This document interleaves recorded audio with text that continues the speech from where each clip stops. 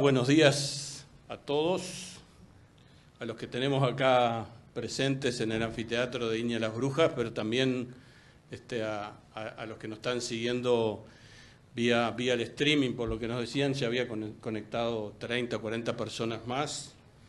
Este, mi nombre es Álvaro Roel, para los que no me conocen. Eh, y actualmente soy investigador principal del programa de investigación de arroz y también del programa de sustentabilidad ambiental.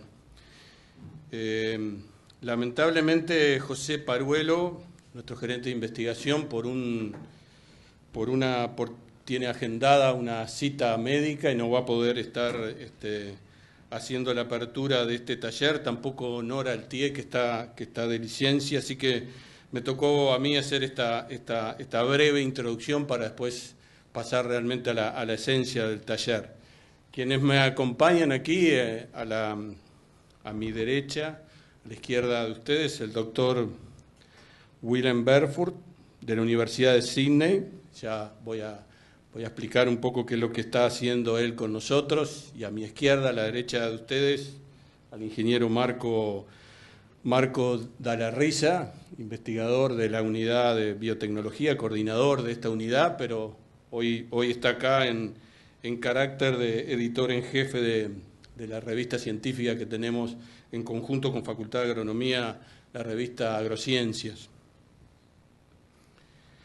Em, el doctor eh, Willem Barefoot eh, ha trabajado ya, viene trabajando en Uruguay hace dos o tres años, especialmente en, en la parte de de, educación, dictando cursos, formando investigadores y formando eh, profesores en el área de modelación hidrológica. Y en, este año en particular, eh, en una de las acciones de, de, lo que es fortalecer el grupo de recursos hídricos dentro de Línea, eh, tenemos un acuerdo de trabajo que está interaccionando con el acuerdo que tenemos con el Instituto IRI de la Universidad de, Columbia, que nos permite, digamos, avanzar en esta temática dentro de línea de modelación hidrológica. Por lo tanto, tenemos la suerte de tener a, Willem este, en actividades dos veces al año, por periodos de dos semanas, y cuando estábamos planificando la, agenda de, este, de, este, año junto con, junto con el grupo, eh, Willem nos, hacía llegar la reflexión que, le parecía, digamos, interesante desde su carácter, digamos, de, profesor y con una experiencia muy vasta, como tienen en, el, flyer de este, de este taller, en, publicaciones científicas, pero además por ser eh, miembro de un consejo editorial, de un journal, eh, digamos, de la, del Xavier, particularmente de Environmental Modeling and Software, de poder, digamos, ayudar en, em, comentar, digamos, su, experiencia en lo que es, digamos, el desafío de, avanzar en, las publicaciones, en las publicaciones científicas. Así que cuando le comentamos esto a Paruelo y específicamente a, Nora Altier, les pareció muy interesante hacer este, este taller este, y también este, conversando, digamos, con Marco, nos parecía también este, que era una buena oportunidad para comentarle, digamos, a, a ustedes y a los que estén interesando, interesados de los avances, que los avances y las modificaciones este, que se están haciendo, que se están haciendo en, la, en la revista Agrociencias. Así que la actividad de hoy va a consistir en dos partes. Una primera parte, digamos, la, presentación de la presentación de Willem, redacción de artículos científicos, consejo de un editor para aumentar la posibilidad de aceptación de revistas arbitradas Willem, muy similar a lo de Marco, está en, una posición que recibe los papers y los manda revisores y después es el que tiene que terminar este, laudando entre la opinión de los revisores y aconsejando al, jefe editor si el, si, el, si el artículo pasa a publicación o no. O sea que creo que va a ser bien interesante los tips y los consejos que él nos pueda dar. Y de la misma forma, digamos, por parte de por parte de Marco en la, en la, revista, en la revista Agrociencias. Originalmente lo pensábamos hacer solamente por videoconferencia, este, y capaz que eso facilitaba un poco la interacción, pero después había mucha gente interesada de otras, de otra, de otra instituciones fuera de INA y en particular cuando este, introdujimos la parte de agrociencias en, Facultad de Agronomía. Así que bueno, laudamos por hacerlo este, en forma paralela a través de, a través de streaming. Eh, y por lo tanto tal vez eso dificulte un poco, digamos, este, la, interacción, pero desde, desde ya le adelantamos que Willem va a estar con nosotros a lo largo de esta semana y la semana que viene, y si alguien en particular acá en el salón o que nos está siguiendo tiene interés en conversar con él, por supuesto que podemos hacer un lugar, digamos, en la agenda para que eso, para que eso ocurra. Y bueno, y en el caso de Marco, digamos, es, eh, es bien conocido por todos y está acá en Las Brujas también también siempre hay oportunidad para poder avanzar en, las reflexiones que él nos deje. Así que no, creo que con esto es suficiente la introducción y le pasaríamos entonces ahora a, Willem para que, para que arranque digamos, su, su, presentación. La idea es que Willem nos dé una presentación alrededor de 40 minutos, después vemos si hay alguna pregunta a nivel local para luego este, digamos, finalizar con la con la exposición de Marco Dalarriz. Okay, Willem, if you want to start. All right. So uh, this uh, will be in English because even though I've been to Uruguay now for two years, I still don't speak enough Spanish. Sorry. Okay, so I uh, I thought it would be good to share some of my learning or some of the things that I've learned in the past and I, uh, from publishing in journals and how you might uh, improve your chances of getting published. And um, that partly comes through my um, experience as a, as a uh, edit or as an associate or, editor, or being on the editorial board for the um, uh, Environmental Modeling and Software Journal. So um, yeah, so I'll go straight into it. So just to, to highlight that, so the, inform- the Environmental Modeling and Software Journal has an editor-in-chief, that's Dan Ames, and then below him sit a set of associate editors. And then below that sits the editorial board, where I'm part of the editorial board. So I'm not yet at the top. Maybe I'll get there later. Okay, so if a paper comes in, someone submits a paper, it gets assigned to an associate editor. And so the associate editor then decides who on the editorial board is the best person to handle that paper. To, so they're looking for someone who's got knowledge in the field, and they're looking for someone who's got who has access to a set of reviewers that might be able to to use that. So then it gets assigned to me.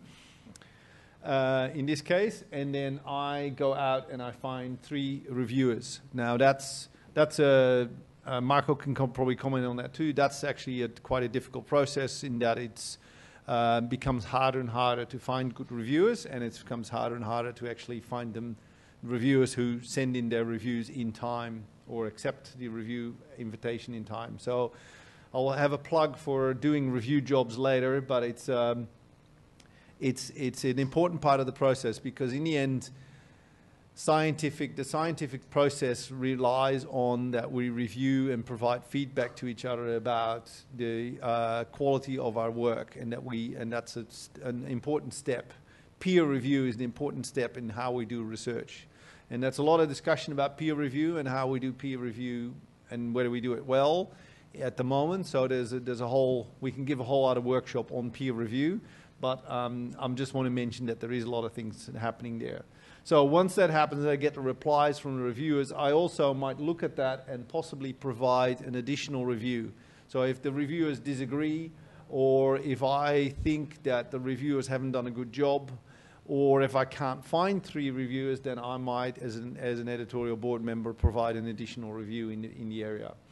And then finally, I will send an email to the editor in chief with advice on what I think should happen with that paper, whether it should get accepted or rejected or reviews or things like that.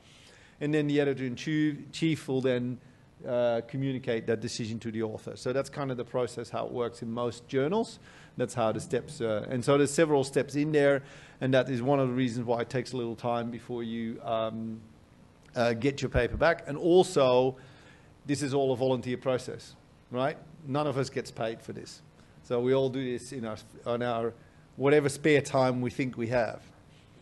And we all know how much spare time we have. Right, so let's get into then the other question. So, what journal should you choose? So, that's the, probably the first question to answer. And it is quite important, it's quite an important uh, choice. So, the, the, the first thing to look at is what the scope of the journal is, right? So, there is a, each journal provides a scope, and I'll just see if I can do this. Will be. Um, I think I've just been shown how to do this. No, that's wrong. I'll see how we can do that. I think I need to move this here. Yes. So here is environmental modeling and software, and I'll see if I can increase this. Right. So, and it it describes in here what it actually is looking for, right? So in in the actual um, journal on every, almost every journal website, there will be a discussion on what the scope is, what kind of papers they're looking for. Environmental software and modeling and software is actually at the moment rewriting their scope, but that's a different thing. But in general, there is a scope. There is always a, um, a description of the scope, and that's what you should pay good attention to that before you submit a paper. So don't submit a paper to a journal because you like the name or something like that. You really need to look at what the scope is and whether your paper fits into that scope. That's the biggest mistake that most people make, and a lot of people get paper get rejected by the associate editor already because it doesn't fit the scope. Okay, let's see if I can bring this back rid of this. All right, so back to that one. Okay, then there are two publishing models these days. Um, the traditional publishing model is that there's a big company that provides, publishes a journal like Elsevier or um, uh, Springer, and um, libraries buy subscriptions or people buy subscriptions to that journal, and that funds the journal, right? The, the money from the subscription pays for the publishing, and as an author, you basically submit your paper and it's free, right? You don't have to pay anything. So because the subscriptions pay for the um, uh, the journal. Now the problem is that of course more and more journals are now accessible via the internet or open or and so the subscriptions have really the the money coming in from subscriptions has really declined and there's not as much money coming into that and it, that publishing model is really struggling. And so the second publishing model that's been working people have been working with is open access where you as an author pay, but then your paper is openly accessible for anyone. Not via subscription, but anyone can read it. So there's a, there's a real um, there are real advantage to that. That it means that you you suddenly have a lot more chance of someone actually reading your paper and maybe citing your paper and maybe using your paper. But the disadvantage of it is that you actually have to pay for the thing, the the publication, and that's can be difficult, especially when the costs are high. For example, I think for my journal at the moment, the open access costs are about $3,000 to $3,500, I think, something like that. So it's quite high. In fact, we've just heard that the Elsevier, the model in Elsevier is that um, the higher impact factor of your journal, the higher cost of the open access publishing, which I find interesting, an interesting uh, rule that they play with. Um, so, you know, the cost of open access publishing is, is something that you, the organization, for example, INIA, who supports you, uh, can think about whether they would help you support, help pay for that, or whether that is something that you have to find in your own research budget. University of Sydney at the moment, we have to find that money in our own research budgets, which is not very encouraging to do, use open access publishing. There is, however, a website, this website um, that I've learned about quite recently, that um, has actually a list of all the open access journals and their costs. So I'll just try and show that one again. Let's see if I can do this. This is a, a tricky thing. Right. So this is directory of open access journals, and you can actually find in there uh, any you know uh, journals and their costs. So if I, for example, type in hydrology, then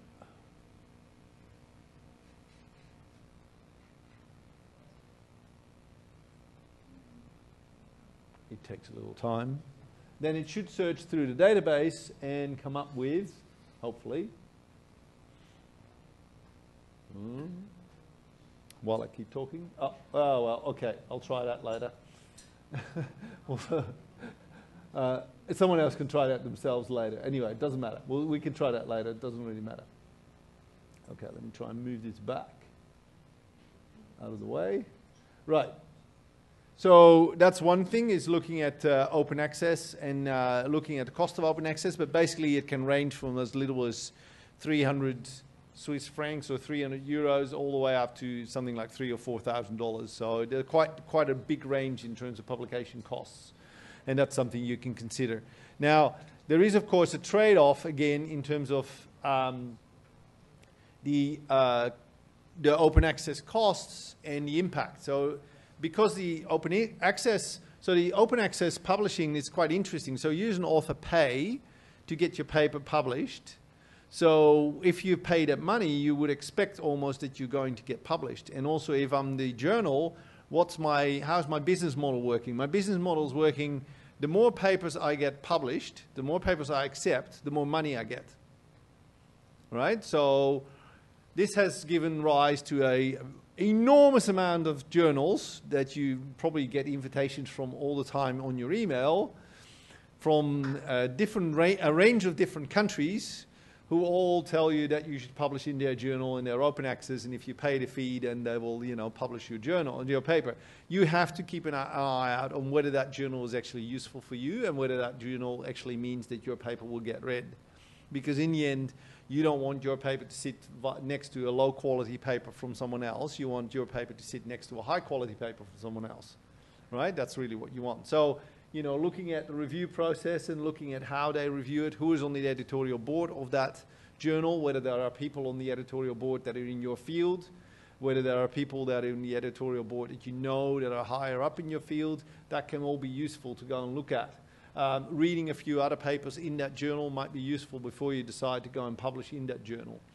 Um, that doesn't mean that you shouldn't publish in an open access, low impact fa factor journal. It might be the journal of the future. You just don't know, right? It's more important that you check what are the other papers in there and is it something uh, you want to publish in. I'm planning to publish in a couple of new journals that I've identified that I find interesting and I just think that you should, I, I should be supporting those journals, so I'll try and put some open access papers in those. So, you know, just focusing only on impact factor is not um, that useful. So there is a thing that's the impact factor, right? And this is something that a lot of research organizations look at. For example, the university will require me to, um, to or they don't require me, but they expect me to, to publish in journals which have high impact factors. And the impact factor, if you don't know what that is, that is explained on this um, this website, Clarivate, who uh, actually designed that impact factor, right? So they're actually um,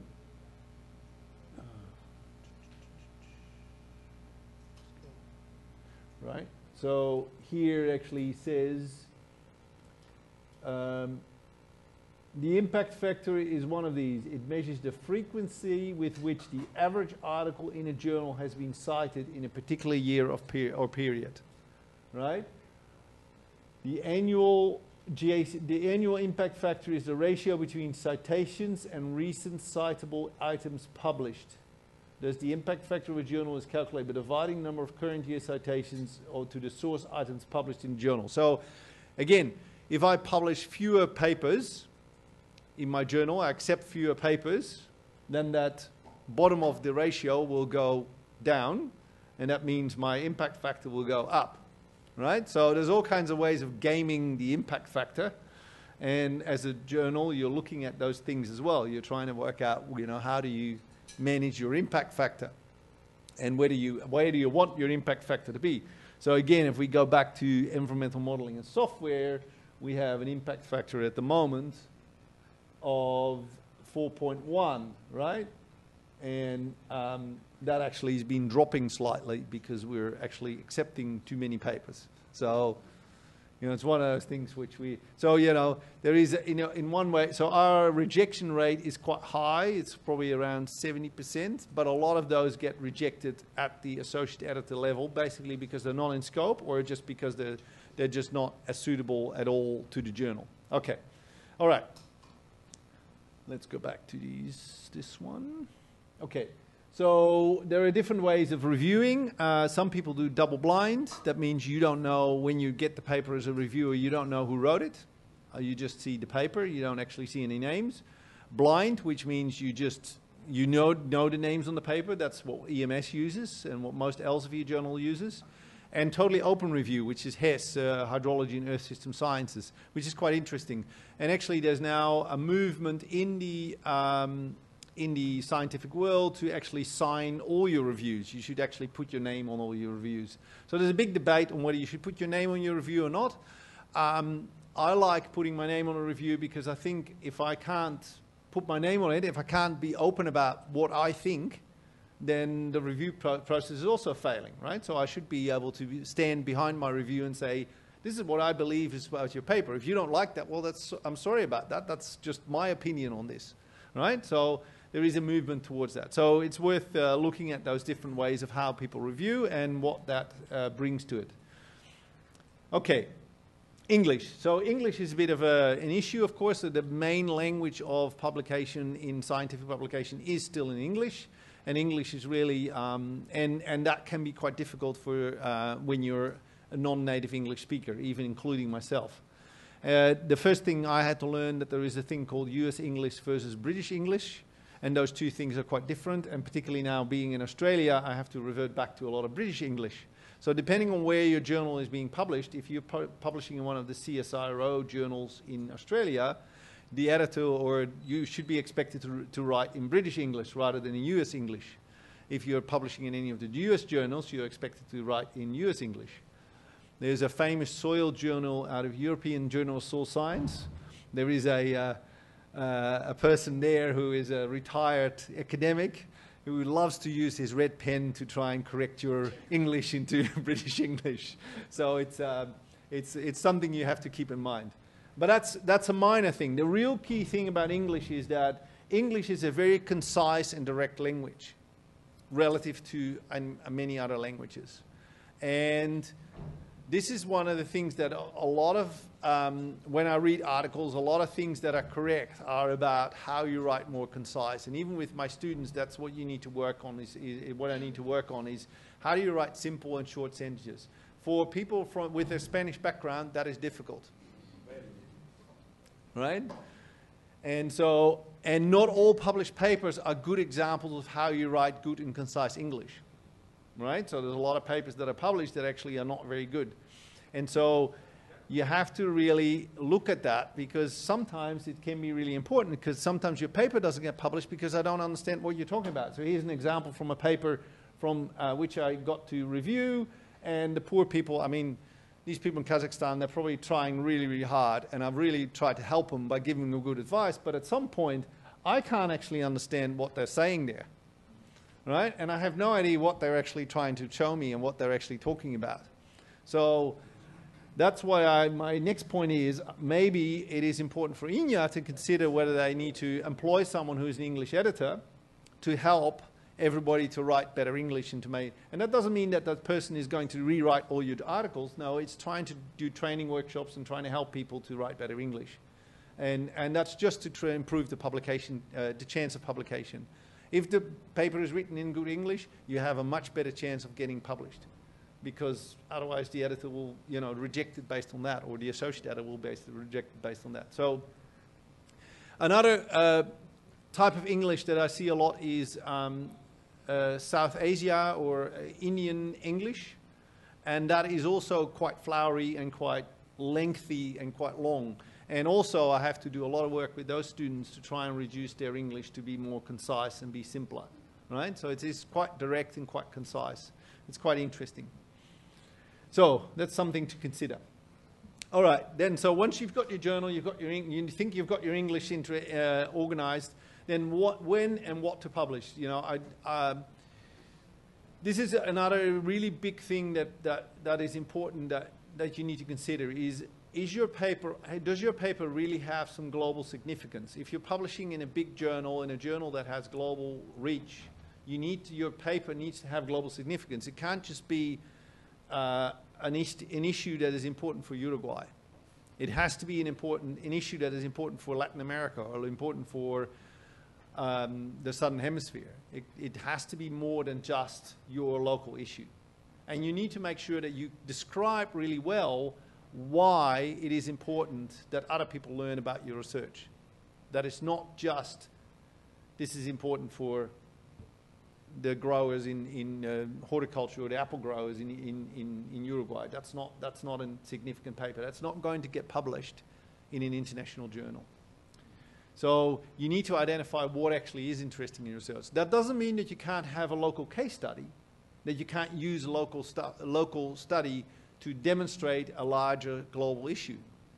It's just it has to be very clear that this is something that is, that is unclear, that is important for the rest of the research world to learn about.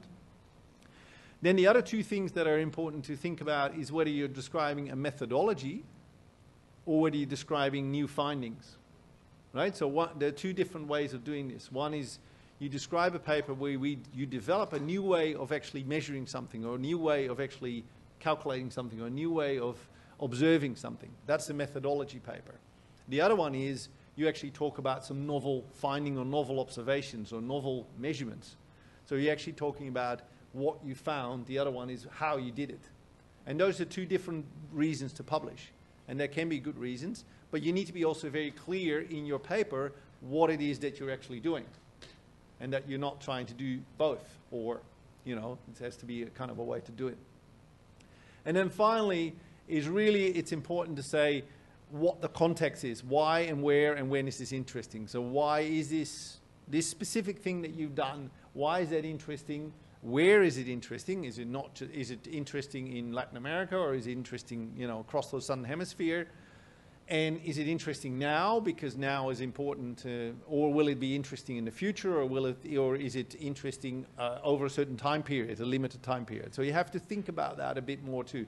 And describing that well is really, really important, and also that links then to where you should publish this, right? So there are different journals that might take different articles about that. There's a lot of new work going on in terms of publishing methods. So methodology, there's a whole range of new journals that are actually focused purely on methodology. And so also there is now a whole new set of journals that focus purely on publishing data, and that's a whole different story. I can, again, I can give a whole seminar just on that. All right, abstract. Abstract and title. It's good to have an informative and attractive title, right? So don't make it very long, keep it short, but also make sure that it's informative and it's kind of attractive. You know, an, investiga- an investigation into is not a very good title, right? Um, also, then the structure of the abstract. What to include and what to leave out. Does everybody know how to do a- an abstract well, right? Two sentences of introduction, one sentence for the aim and objectives, two sentences for the methods, two sentences for the results, one sentence for the conclusions. That's about it. All you need. Right? You don't need that. Need more. So, you know, you can look at this abstract and you can say, is that a good abstract? It only talks about results, right? And it doesn't really outline very well why this uh, uh, the reason why I didn't like this one is because it doesn't really outline very well why this why this is needed. You know, we were just saying that it's important whether there's a global significance. This doesn't really say tell me whether this paper has any global significance, why this is important. Right? So it's something to think about. I'm happy to share this presentation later so we can, you know, can put up. Okay. So um, the importance of the introduction, I can't stress enough that it's really the introduction and the objectives and the hyp- hypotheses that set the tone for the article. If you don't get do that right, your article doesn't have much of a chance. Right? So if the introduction is too long, it keeps talking about things, it doesn't summarize well, it doesn't it's it's how to write a good review within your introduction is really, really important. So writing a concise and good review of the existing research in two pages is really what you want to do. Two pages submitted, you know, on a submitted paper. So not, not two pages in the actual original, in the actual article. It should only be one in your actual article, right? So it needs to be very clear, why do we need this study? Why do we need this paper? What is it that you're telling me? What's new? What's important? So you need to do your research. Are you really presenting something new? I just want to show this one. These are my comments on uh, a paper that I reviewed. So this article curiously, curiously classified as a review article because they were actually presenting research, present the development of a standardized groundwater index as a way to characterize groundwater deviations from the long-term mean similar to standard, etc. Is demonstrated, so it's actually a research paper, not a review paper, but anyway, they call it a review paper. And then I reject it. The key problem is that this is not a new idea, and this has been published, and I'm afraid much more thoroughly and better, by Bloomfield and Marchant in 2013. So clearly this author didn't do their background research or were trying to publish something that they knew that was published before I don't know. I just basically, I did what, so what I do as a reviewer, I do a simple Google search on your uh, search to, on your keywords, and if in Google Scholar, and if something pops up, then I'll have a look at it at the abstract, and if it seems similar, then I'll mention it. All right. So in this case, this paper was about identical to what the guy had done. And it, or it actually had it done much better. So it's something to just remember that you know you need to make sure that your paper is actually is actually um, um, has to actually be novel and it has to be can't be just someone else has already done it. All right, so you need to make sure it's something new. So do your research. So how does your work improve the existing results? You need to be able to summarize why is your paper better? What is it doing differently from the existing? You can't just say we're repeating someone else's work. I see it a lot from a lot of papers coming out of China where basically, essentially what they're doing is basically repeating what someone else has already done and they're saying, and here's some results from China that repeat this research. Well, to me, that's not, an, that's not novel. That's not something that I would publish, right? Because you're just repeating it. Unless you're finding something totally different or you're finding something that contrasts or that is, you know, why this is new or why you think the other ones haven't done their work correctly or whether you think it should be improved on, then it's interesting. Just adding to the data, to me, is not that interesting for publication. So I wouldn't do that. Wouldn't uh, uh, publish that. The other one, you, when you write an objective or an introduction, you have to have a clear test. You have to, this is science. We need to be able to show that this is better than something else or this is improving on something else. There needs to be a clear comparison. If it's just an investigation into, then it doesn't really work. Again, right? It needs to be something that actually says, we're comparing this to this, and that's why we think this is an, a, a, novel way of doing it, or a better way of doing it, or it's a different way, or we're finding different results, or so it needs to be a contrast. There needs to be a contrast in your objective. And then finally, it, you need to be able, and so again, coming back to this global content significance, let me show you another paper, and it's full of, uh, full of notes, full of uh, comments from me, so you can ignore that. Where's my mouse? Oh, I've got to come here. This way. Here we go.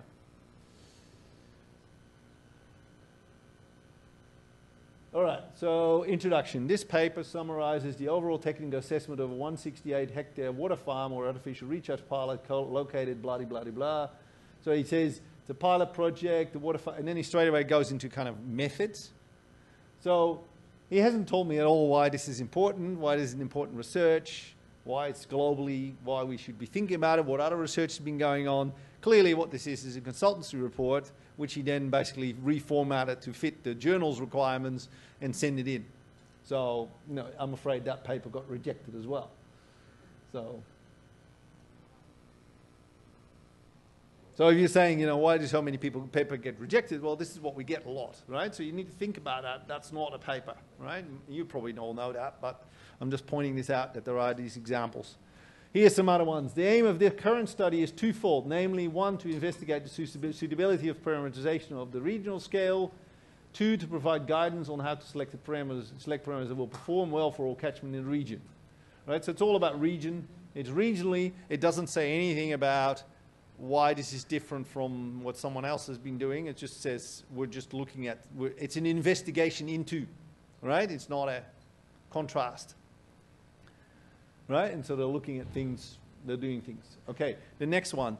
The objective of this study is to develop a modeling approach to quantify the effects of uncertainty in AWC on agronomic model predictions according to the crop, climate, and soil. So it's a very brief one, but it's actually reasonable, right? So you can say it's a methodology, it's a modeling approach, and probably if they have done, the only thing that I'm missing here again is the contrast. It doesn't say, why is this better than something else? Right? It doesn't say the objective is to improve on the existing or to improve on modeling approaches in that area or to identify to because you know things that they actually can say that they they have done differently. Okay. Here's another one. In this contribution we explore the er erosion and CEC coastal database. Example towards so that's a quite long one. They have a large number of sites the only thing that I was not happy with this one I didn't like was they talk about However, although a particular attention has been given to data quality control in the projection, we, some changes may actually reflect errors or inconsistencies during the process of data collection aggregation. Here, our prim approach primarily raises the need of research. Well, is that really a paper, or should that be a review paper? You know, is that a you know is that really a research paper? Anyway, it's another thing. And we got two fourth year theses thesis, which I just reviewed. So this is our fourth year agronomy students. This report endeavors, I don't like endeavors, I wouldn't use that, to address the unknown limitations. Okay, so there are some limitations surrounding, and it was whole grain yields that he was looking in in rice. Whole grain yield management using historical data, providing practical results for the use in multiple stages, stages of the supply chain. Well, that sentence too long. Initial analysis of the variables, both blah, blah, blah, what says growing control, understanding the factors that affect, okay, I can see that. So we need improved understanding of the factors that affect whole grain yield. And then he says he, the goal is to model the effect. And then, but then he talks about, you know, so that one's a bit vague. The second one is this project aims to compare different methods. Okay, that's good. It's comparing different methods. So there's a test of estimating soil moisture status within an irrigated costing system. Okay, that, that makes sense. He's comparing things. Four different technology methodologies are studied and compared, and then he explains what those are. So that, to me, that's a better, that's a better objective, right? It's clear comparison. There's something there. Okay. All right. So getting the getting introduction, the objectives, and the hypothesis right is is really important, and getting that, making it clear, that's really important to to try and get that done. Okay. Then when you get to the methods, they have to be crystal clear. I mean, there's too many papers that I go through. I go, I have no idea what this person has been doing, or they make decisions in there, or there are. Um, so whether people making uh, arbitrary decisions, or whether people making uh, not writing fully down what they actually done, they just make uh, assumptions that they don't qualify. So the key thing that we're trying to talk about in methods is that it is repeatability, right? Someone else needs to be able to take your paper, repeat your research, and get your results. Now, that's hard enough because we know that, that isn't true and that doesn't always happen, but that is the goal, right? So your, your description of your experiment or whatever you've done has to be so clear that someone else should be able to do this. And so it also needs full disclosure of all the data. Where did you get the data? How did you collect the data? What data do you have? And where can we find the data? Or can someone access the data so they can actually repeat your experiment? You need to describe all the sources of the data and it can be a subheading. That's not a problem. Then the other thing I can't hammer too much about is statistics. Statistics, statistics, and statistics, right? We're in science. If you can't do your statistics, something is wrong. You need to be able to do that right. You need to be able to understand validity. You need to be able to understand transformation, whether you need to transform your data. Right? Why do you transform data? Because there's assumptions in your modeling, right? And the assumptions are that your model residuals are normally distributed with mean zero, unless you have another assumption and you need to write that down. Right? But the original normal assumption is okay. I asked my second year geoscience students who I had taught a class, and I was very disappointed in their response. So I teach different groups. I teach the agronomy students, and I teach the uh, geoscience students. I taught the geoscience students, asked them in their second year, second semester, so this is their fourth semester of their study, asked them to do on their practical to do some regression and to provide the statistical parameters on the linear regression that they had to do. The best I got was an R squared calculated in Excel in five decimal places. Right? If I'd asked my agronomy students, I would have got full p-values, significance of the model, output of statistics. So I, I was pretty proud of my agronomy students because they would do that right. Anyway, so statistics is really important. You need to make sure you do it right. And if you're not sure about the statistics, ask some advice from someone. You know, go and tell them what you've done. It's really good to go and see a statistician and say, I've tried this, I've got this far, this is what I've got. I just want, to, want you to have a look at it and, and advise me whether I've done it wrong or what I've got missed something. That's better than going, here's my data, can you do my statistics for me? It's better if you try yourself first. You need to be able to do this. Right. So tests and comparisons. Make sure that you clearly test, do a test that includes all the variability, or you need to describe the assumptions. So if you have a lot of variability, you can't capture that all within your tests, then you need to say, I am assuming that X, Y, and Z does not have much influence on my results. Or we are, is unknown variability that will be included within the error of the system, that you, the, the error of the final test that we actually don't know, we can't define. So what variables are controlled and which variables could not be controlled? And what, how does that influence your results? So bad, bad examples and methods I've seen is they use model output to do something else, right? And they, but they're not reporting the model performance, right? So they, they just say, we, we use this model output, and then you go, yeah, well, how did you develop that model? What's in the model? Not using independent data, predicting one model from another model. I've seen that as well, you know? It's not very good. Again, results. You need to do full disclosure. If you leave out results, you need to explain, why. Right? You can't just say, oh, I've done all these experiments and your methods, and then you present only half of it. That doesn't work. You need to make clear graphs, font and label size, important point sizes. If, if the reviewer can't see your figures or don't understand your figures, you've got no hope. Right? It doesn't go anywhere.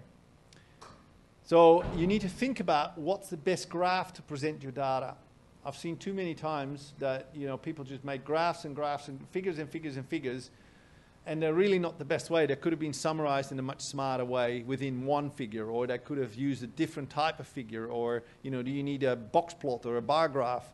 And that's the same with tables. Don't make just make tables. If you can do it in a box plot, it's much more visual, and people are much more able to see what actually the results are. So thinking about figures, actually, you need to spend quite a bit of time actually thinking about what is the right figure to present my data. And so how many do you need? Well, I think any paper that has more than about seven figures really should not be published. It's just too many. You know, there must be smarter ways of presenting that same result. So when I get a paper with, you know, 15 figures, I always go, oh, well, at least, you know, eight of those should go. And tables, same thing. You just don't want endless tables. Appendices, other ways of presenting data, you can work it out a different way. Just people are not going to read your article if it's full of lots and lots of stuff that they can't actually make sense of. Unless it's a very, very important, very, very long paper, which I have seen.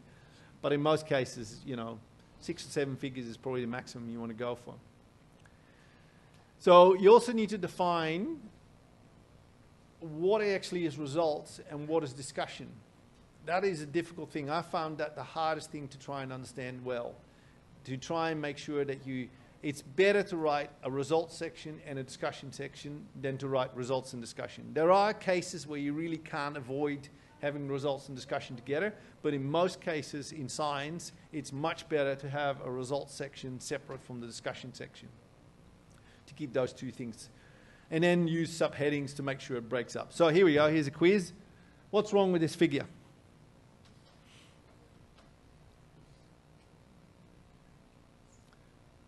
Well, first thing, the fonts and the labels are too small, right? You can't actually see what's going on there, right? No idea. The title is not very informative, right? Doesn't tell me anything. And so, why is it a why is it a curved line? Right? Why why why should it be a curved line?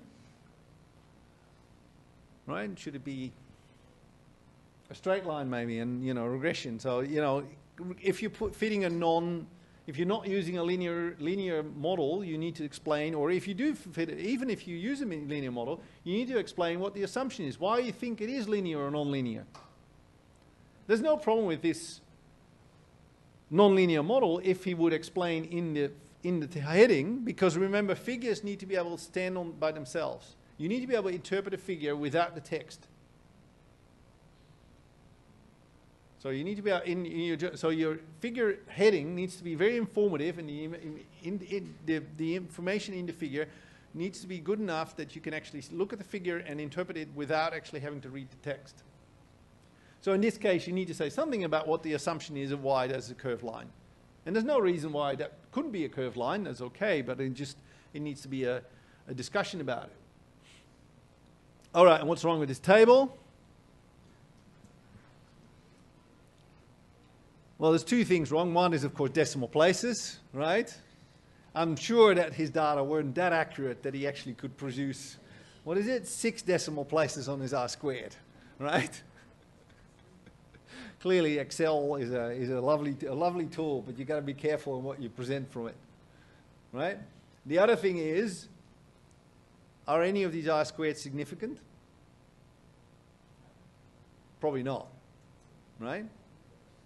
So probably there are actually no, there is no relationship because, you know, unless you've got lots and lots and lots of data, an R squared of 0.1 is unlikely to be significant.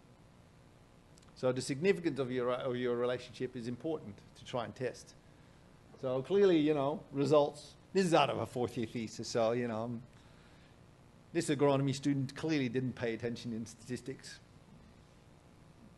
Okay.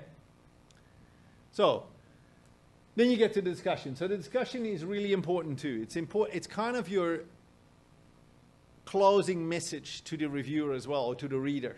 But also, in, you can also think about this to the reviewer, right? This is your closing message. This is really where you want to make your point. This is where you want to say, all right, looking back at my objectives, right? These and looking at my results. These, these are the things that I've done and you can then have a critical analysis. What actually went wrong? What could be done better? But you can also talk about the positives. So don't be too negative, right? You need to, but you need to be realistic. What did you not control for?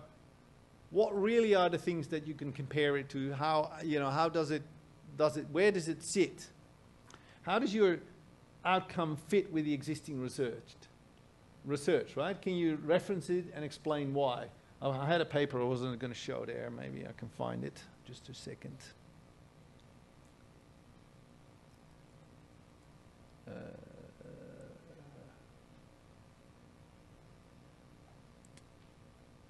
it might be this one.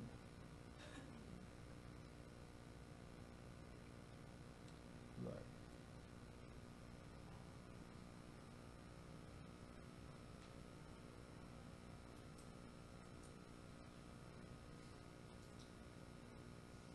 No, I'm sorry, I can't, I can't, can't remember which one I was trying to identify, so I'll just leave that for now. But I think, I think one, one of the things that people forget, I actually I was just, I was just looking at another review um, paper that was getting back from the reviewers, and the original paper had a discussion. There was no reference in the discussion. Now you can over-reference, but in this case, the discussion, there was a lot of discussion, so it was like two pages of discussion, but there was no, not one citation of another paper in there. And I mean, if you're trying to fit your outcomes with existing research, then really that's what you need to do, right? You need to have citing other papers and saying, well, these people have found this and we've done this and this is how. And again, you come back to this introduction. You come back basically to your introduction story. You're saying, so we have shown you know, that we've done something better or that we've done something different. And that's, you know, how does your study move the existing research forward? Right? Is it just a repeat or are we actually making some progress here? Because in the end, that's what we're trying to do. We're trying to move science forward. We're trying to get to the next level, right? And it can be summarizing and it can also be slightly speculative. So you can actually talk about what you believe that is happening or what you think that might be happening or you think that in the future might be happening. You can actually put that in if it's well underpinned by what you found. Don't go too far, right? I've seen, seen examples of that as well. But in general, you can be slightly speculative. again, use good subheadings. It will help, you know, breaking up the story, making sure that it's clear what you're talking about and sep- separating things out. All right, so then finally we get to the conclusions. The important thing is be brief. Um, two pages of conclusions is not good, right? It's a couple of paragraphs, two ma- maximum, I would say. You want to link back to objectives. This was my objective. This is how I actually proven that objectives. You need to outline the main findings, but you don't want to speculate in this case. That's in the discussion, so leave that out. Too many times, you know, people continue to speculate in the conclusions, while that really should have been in the discussion. So brief, brief is important, keeping it very brief. So yes, so but I think so in terms of rejections, the papers that are, the most most pa- papers that I reject are either in so the, the three big sections to me are introduction, methods, and results. If those three don't stack up, then the paper gets rejected. If the discussion is flawed, I'll go for major review. Right? I'm happy to put that in. If I think the results are really interesting and there's they've actually done a good job of describing that, then the, then I go for major review. But if if the if if they are not clear introduction what they're trying to do, or the introduction is not clear enough about whether this is actually something really new, then it gets rejected. If the result, if the methods are incomplete and I can't understand what they actually have done, then the paper gets rejected. If the results are incomplete or the results are just badly presented or things like that, maybe that will be a major review. Depends a bit on how good the other bits are. But really, so interaction and methods are really important, and results. Those three things are really the most important bits. The rest, you know, we can live with, we can do reviews on. So um, I use uh, a reference manager. You know, I use Zotero and EndNote to uh, work with, uh, and probably all of you already do. I just can't. I, if you're not, you should be doing it, right? Because it really makes things easier and you don't make mistakes. And Zotero is a free program. EndNote, of course, is a is a paid program. There's a couple other paid programs that you can use. You can use Mendeley on uh, now on uh, on Elsevier as well.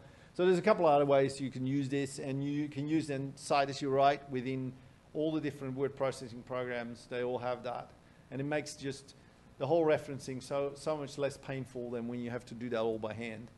You really should be doing that. Um, I had another paper I wanted to show, but it's on my laptop and not on this computer. So the other thing is a lot of people, some people like to oversight. So they go, they go and they make this and they say, they make a statement and then there's like four or five references behind it. Now, really that's not needed. If you're trying to make a point in introduction, you can just use one or two papers. Use just the key papers, right? Unless there's contrast and you have a discussion, then you might say, you know, you might cite more papers. But if it just all the papers agree, then you can just cite the latest or the latest few, right? You don't have to cite the, the or you cite this, the real important paper, the one that everybody cites. Make sure you've actually read the paper. Too many mistakes have been made where people actually haven't read the paper and they're citing what someone else is saying who also hasn't read the paper. I think there was is one example about was it the paper? I think it's a paper from the soil physicist J.R. Philip that got misquoted, you know, um, something like a, hundred times in a row, like by people just following each other. it's quite a, quite a good example. So, you know, so, you know, make sure you actually read the paper. Don't just cite because other people cite this paper. You actually read, this, read it. And, and it just masks lazy review, you know. If you just put all those references in, you're just trying to, you know, impress someone. It really doesn't help. And you can just use EG or, you know, for example, and you just use one paper right? You don't have to use all of them um, if there are many other papers in that same area. And finding a good review paper, of course, helps with that. All right, so then your reviews come back. So you got to remember that in the end, the reviews of your paper are feedback.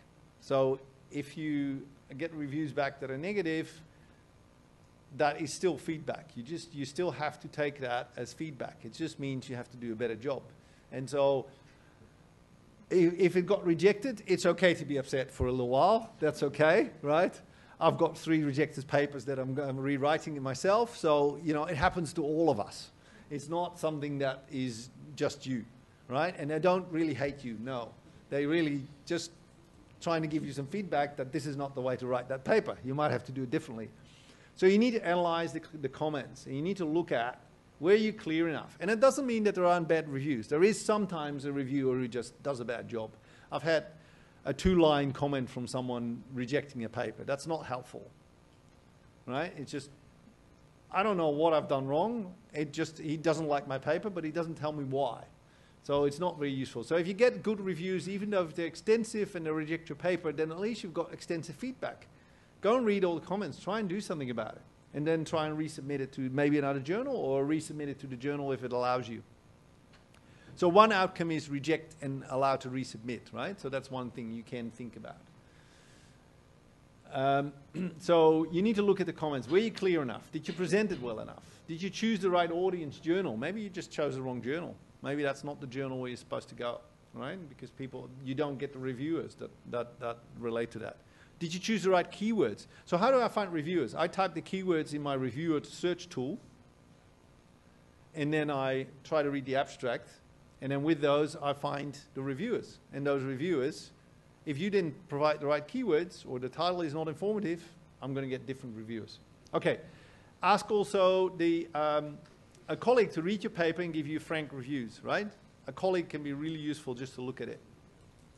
So, finally, reviewing can make you a better author.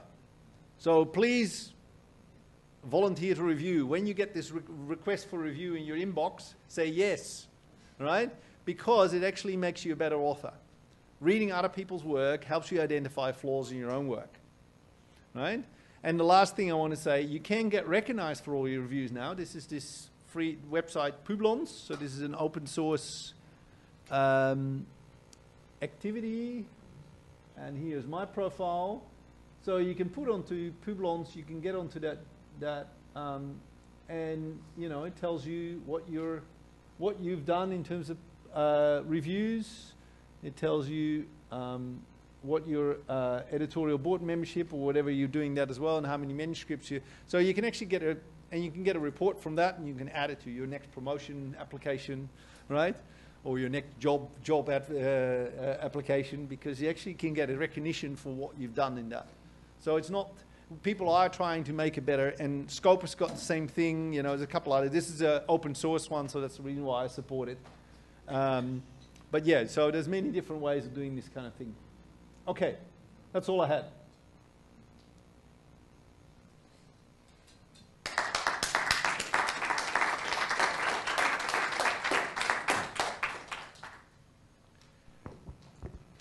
Ok, muchas, muchas, thank you very much, Willem. Muchas gracias, Willem. En, para los que nos están siguiendo por el streaming, eh, apareció un número de teléfono por si alguno nos quiere hacer llegar a través de WhatsApp alguna, alguna pregunta. La idea es a, lo último, si tenemos tiempo, poder, poder transmitirle a los, a los expositores este, alguna, seleccionar alguna de ellas. Así que ahora, ahora seguiríamos entonces con la, con la presentación de Marco Risa y luego haríamos este, la articulación con la audiencia.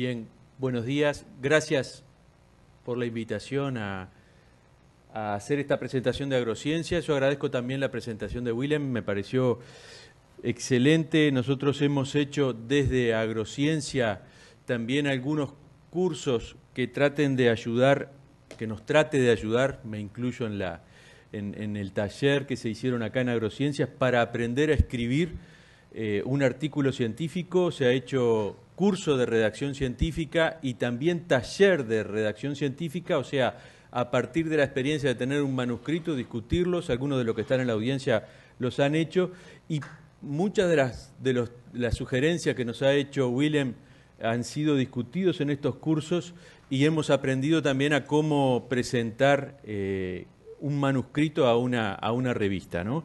Y muchas de las, de las sugerencias que hizo Willem son discutidas, este, sobre todo cuando uno escribe eh, un manuscrito como parte de un trabajo, de un proceso de investigación, donde uno resume lo que avanzó, lo que, lo que concluyó, qué es nuevo, cómo poder escribirlo. Eh, eh, también verificar en un manuscrito el rigor científico, o sea, las tres R que nos enseñaron entre la relación que tiene que haber entre el título y el objetivo del trabajo, el respaldo que tiene que haber entre el resultado y la metodología, y la respuesta que hay entre el objetivo este, y las conclusiones de nuestro trabajo, todas esas cosas que nos ayudan a escribir de manera correcta un manuscrito, eh, tratamos de, apoyarlo desde Agrociencia para que es una, uno de los aprendizajes que hacemos en la investigación y que también eh, como, como, investigadores o como también tutores de, estudiantes de, posgrado, eh, decimos de que un trabajo no está terminado hasta que no se publica. Es parte esencial que concluye muchas veces y le da un, un lugar a la investigación que hacemos y por supuesto que tratar de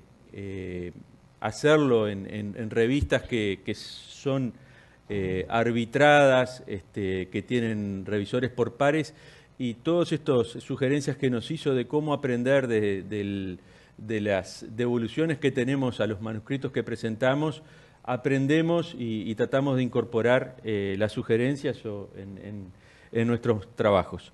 De modo que eh, muchas gracias, William, por la presentación. Es algo que nosotros desde Agrociencia tratamos de impulsar para, aprender este, y también para valorizar lo que les vamos a presentar ahora, que es eh, nuestra revista de la Agrociencia Uruguay, eh, que, bien es desde, está desde 1997 como una iniciativa de la Facultad de Agronomía eh, inicialmente con un volumen eh, por año eh, y luego pasó a dos números por año.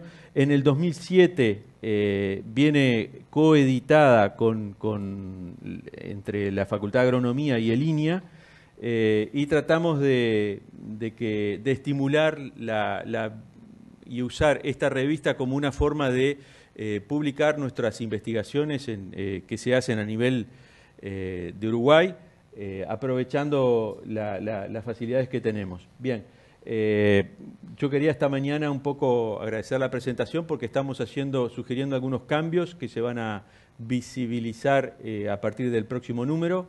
bien, respete algo que no, que no corresponde.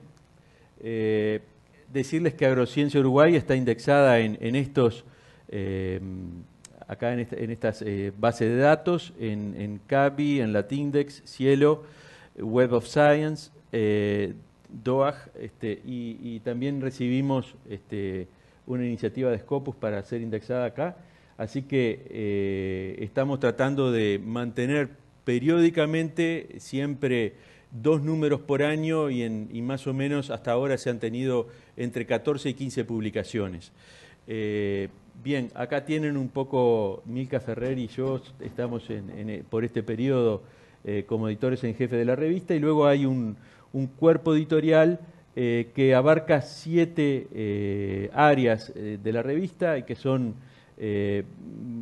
biotecnología microbiana y de plantas. Acá tienen los editores que son compartidos entre la Facultad de Agronomía y el INIA, producción de plantas, protección, eh, recursos naturales y ambiente, eh, pasturas y forraje, producción animal y forrajes, eh, ciencias sociales y economía agraria, un área nueva que estamos incorporando a partir del número que viene, que es tecnología de alimentos, y también mm, dando un espacio a publicar resúmenes de los de los doctorados que se están haciendo en el país y que se, se están incorporando, se están realizando en la Facultad de Agronomía, también aceptaremos de otras, de otras eh, universidades, de otras facultades. Bien, todo este trabajo, eh, como decía eh, Willem anteriormente, es voluntario y por lo tanto tratamos de reforzar con mayor número de, editores en aquellas áreas donde la revista recibe más manuscritos a ser evaluados, de manera de hacerlo más, de hacerle un seguimiento más sencillo. Bien, hay toda una, acá tienen todo el elenco de la gente que está trabajando, y unas 40 personas trabajando en esta, en esta revista. Bien, también tenemos un consejo asesor eh, requerido por, por algunas, eh, para ser indizados en algunas de las bases de datos que les mencioné anteriormente. Muchos de ellos son este, eh, gente que trabaja, interacciona con, proyectos de investigación de la facultad o de INIA, o son mismos, muchos de ellos son uruguayos que están trabajando en el exterior o en el país. Eh, bien, y hemos recibido algunos desafíos, como eh, leen acá, que es incrementar el impacto de la revista, expandir la visibilidad de, agrociencia y acortar los tiempos de publicación. Entonces, acá ven que nos mencionaba las métricas, eh, Willem, y, nosotros tenemos un, factor de impacto bastante bajo comparado con las revistas, otras revistas similares como Acta Agronómica de Colombia. Este, y bueno, esta es un área que nosotros queremos impulsar a través de algunas sugerencias que estamos sometiendo al Consejo de la Facultad de Agronomía y al Comité de Investigación de INIA. Entonces, estamos proponiendo algunas acciones para cambiar eh, y, bueno, resaltar de que esta es una revista de acceso libre eh, que trata sobre todo temas, eh, mencionaba Willem también, temas locales este, que pueden ser no atractivos para otros este, revistas internacionales. Eh, estamos cambiando la modalidad y a partir del próximo número eh, los escritos van a, los, manuscritos vamos a cambiar el, lenguaje oficial de la revista va a ser inglés y para esto este, la INIA y la Facultad de Agronomía apoyan los, manuscritos van a ser aceptados en español o en inglés y eh, de manera de tener una buena corrección de estilo inglés, para nosotros nos cuesta escribir, este, vamos a tener una corrección de estilo, ya tenemos un, panel de revisores eh, en inglés y por lo tanto hasta 5.000 palabras lo va a asumir la revista y si luego hasta 7.000, que son el, número de palabras por artículo que está estipulado en la revista, eh, esos 2.000 palabras o lo que exceda las 5.000 va a ser pago por, los autores. Entonces este es un cambio grande, lo que estamos buscando es darle mayor eh, difusión a la revista eh, y, entonces las instituciones apoyan este cambio eh, apostar a una mejor calidad y relevancia de los artículos, acortar los tiempos de publicación este, y el objetivo estamos proponiendo que sea en seis meses desde que se reciben hasta que se acepta el artículo y sale a, publicación. Eh, la revista deja de ser, eh, va a tener, no va a tener más este, publicación en papel, va a ser versión electrónica de acceso libre y bueno, este, y entonces este, va a ser eh, todo en, online. Bien, acá tienen un esquema del proceso de, editorial de, la revista. Eh, como mencionaba también Willen anteriormente, bueno, eh, tenemos un, comité editor, que yo les, un cuerpo editor que les mostré anteriormente, que deben asignar los, los revisores. Y acá tienen los plazos que tienen los revisores para contestar, luego para confirmar que aceptan la, esto es para asignar los revisores, el tiempo que tienen para contestar si aceptan o no la revisión, eh, luego 13, cuatro semanas para, para tener un informe de los revisores. Y acá empieza todo el, una vez que se toma una resolución, todo el proceso posterior que va eh, desde hacer los cambios eh, de, las sugerencias que reciba el, manuscrito hasta todo el proceso de edición que lleva también y estamos tratando de que este tiempo se cumpla en los seis meses. Bien, estos son los cambios principales que estamos presentando para la revista eh, y, que van a empezar a correr con el número, con el próximo número de 2019. Ya el, el tenemos el número de artículos, más o menos vamos a estar rondeando los 12 artículos por número, 24 por año, este, y, son los cambios que estamos proponiendo para la revista. Bien, yo lo que quería era agradecer este, la presentación de esta mañana que nos venía muy buena para eh, mejorar nuestros manuscritos eh, y difundir la, esta, esta, nuestra revista que se hace entre la Facultad de Agronomía y el INIA como modo de apoyar también los estudios de, investigación que se hace acá a nivel nacional y también de posgrado. O sea, eh, también que se visualice como una forma de publicar nuestros trabajos eh, que se hacen en, en el país. Bien, eso era lo que tenía para presentar.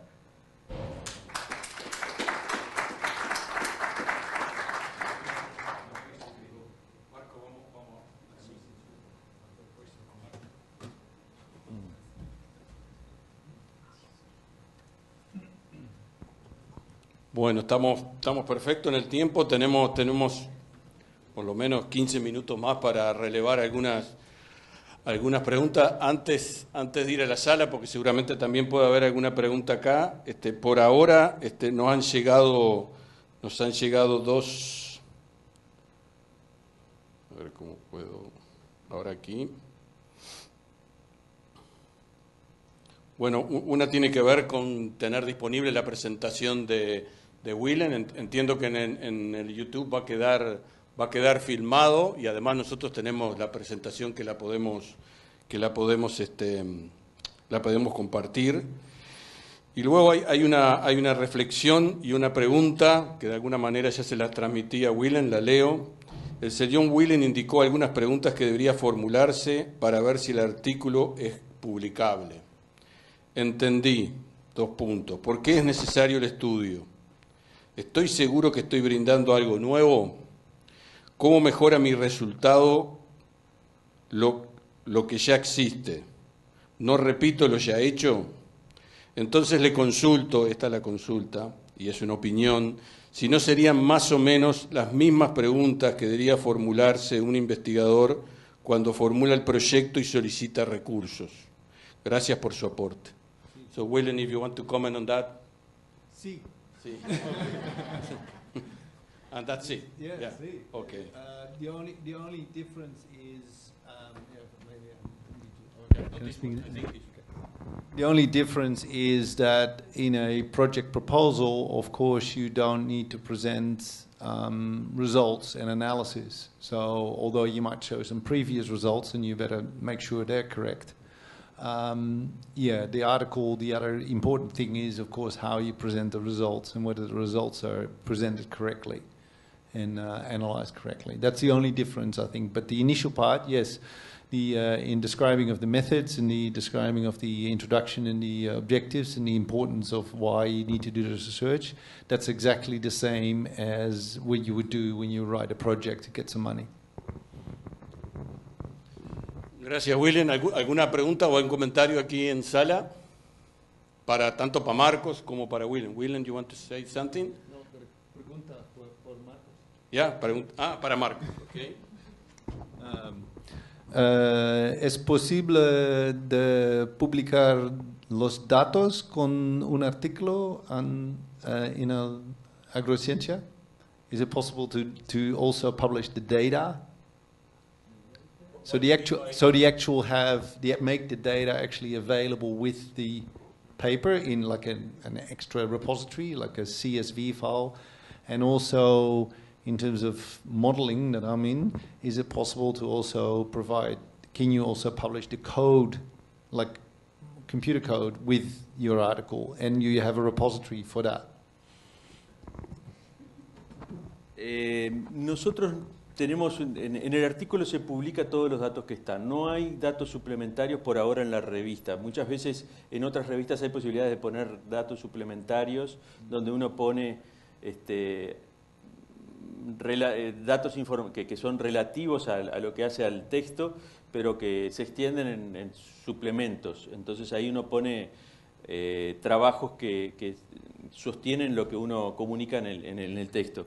Esa posibilidad todavía no. Nosotros publicamos lo que el, artículo, el manuscrito tiene que tener todo el contenido este, eh, presente en el artículo. ¿Está bien? No sé si respondo la. ¿Está bien?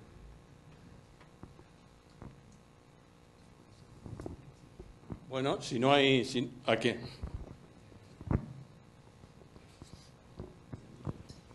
Thanks for your presentation. Just a comment about um, graphical abstractors or figures like that. I, I, I, I don't know if you have some idea of the impact of that. Is, is useful? Maybe you, you, you talk about all other kind of data or CSV files or something like that. You, you, do you think, I guess, it's, it's important to, to communicate, but in fact, for a graphical abstract, do you, do you have some experience or comments? Um, I'm not really sure. I'm, I'm personally, I'm not totally convinced about the highlights graphical abstract. It's it's. I think it's useful if you're um, considering promoting your article via Twitter or um, something like that. Then it's kind of useful because it gives you a snapshot of the paper and it gives you an image with it. Um, in terms of the journal itself or on the website or things like that, I don't find the graphical abstract or even the highlights fairly uh, very informative. I generally read the abstract uh, before I read those things. Um, but I think, yeah, I think mainly it's for social media.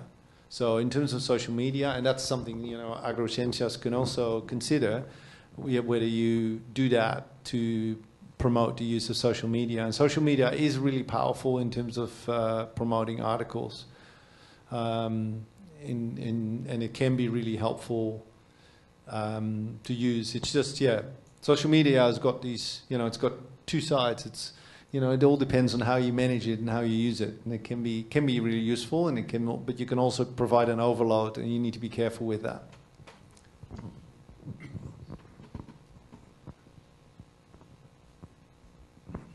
¿Alguna otra pregunta o comentario? Si no, este, le agradecemos a Willem y a Marcos por el, por el tiempo y la dedicación a este taller. Muchísimas gracias. Le damos un aplauso.